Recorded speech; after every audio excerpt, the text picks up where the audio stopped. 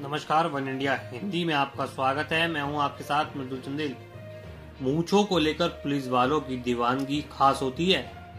ऐसे में अगर किसी जवान या अधिकारी को उसकी मूछों के लिए उसका सीनियर अफसर न केवल पीठ थपथपाए, बल्कि पुरस्कार भी दे तो क्या कहना? कुछ ऐसा ही नज़ारा बिहार के गोपालगंज में दिखा। जब सराणा डीआईजी मनु महाराज ने अपने एक एएसआई को उसकी मूछों के लिए न केवल सराहाया बल्कि इनाम भी दिया दरअसल गोपालगंज पहुँचने के बाद डीआईजी मनु महाराज ने अधिकारियों के साथ बैठक की।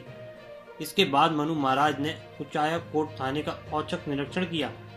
इसी दौरान डीआईजी मनु महाराज की नज़र ड्यूटी पर तैनात एएसआई उमेश यादव और उनकी मूछों की ओर गई, जिसे देखकर मनु महाराज ने इसकी तारीफ़ की। मूछों को लेकर तारीफ़ के साथ ही डीआईजी ने उमेश यादव को सम्मानित भी किया। मनु महाराज ने इस दौरान उमेश यादव को अपने पास से पाँच सौ देकर सम्मानित किया और उनकी मूछों की जमकर तारीफ़ की। आपको बता दें कि मनु महाराज की गिनती बिहार के तेज तर्रार आईपीएस अधिकारियों में होती है। वो खुद मूछों के शौकीन हैं और अपनी मूछों के स्टाइल के लिए जाने जाते हैं। वहीं डीआईजी की इस तारीफ़ से ड्यूटी पर तैनात अन्य पुलिस पदाधिकारियों के चेहरे पर भी मुस्कान खिल गई।